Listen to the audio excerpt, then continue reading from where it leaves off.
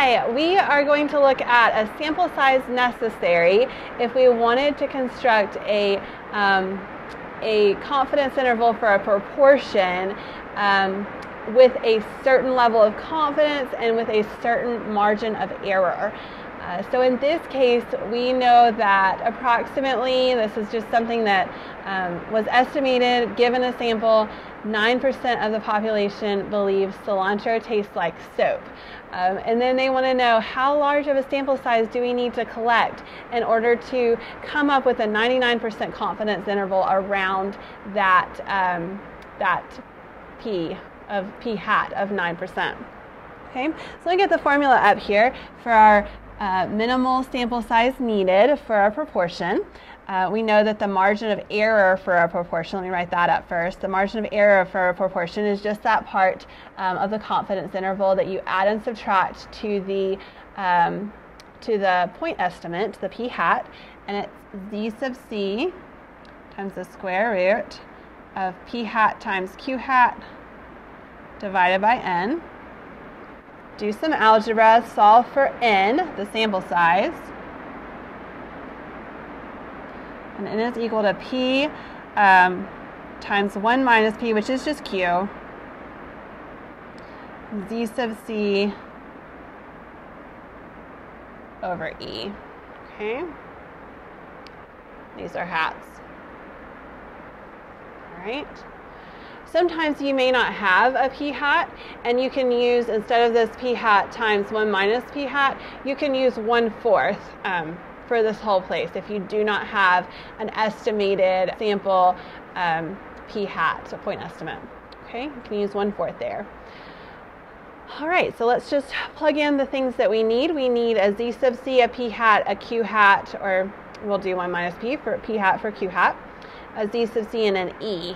Okay, so let's plug things in. P hat here, the estimated um, P is 9%. We kind of like to have an idea going forward, like, okay, this is what kind of what we think it is, um, and then we want to get a better confidence interval around that. Uh, we need that to kind of move forward. All right, and then our Z sub C found using that little table in our normal distribution for 99% is um, 2.58.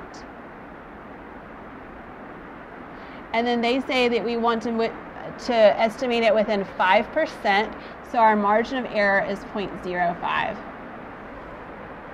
And then we just plug into this formula. So our p hat is 0.09. We'll do 1 minus p hat, which is just q, q hat and this is squared. Um, our z sub c is 2.58 and our e is 0.05. If you do that, you get 218.06. Now, much like if we wanted to do this with a um, confidence interval for a mean, we talked about the fact that uh, this is a minimum. And so we can't find, of course, 0.06 person to come up with. So how many do we really need? And it's so tempting to round this to 218. But if 218.06 is a minimum, we do not want to go below that. So we actually need to survey 219 people to have a uh, maximum margin of error of 0.05. Otherwise, we would have it a little bit above 0.5, 5%. Okay, so we actually need to survey 219 people in order to get a good confidence interval with a margin of error of 0.05. Thank you.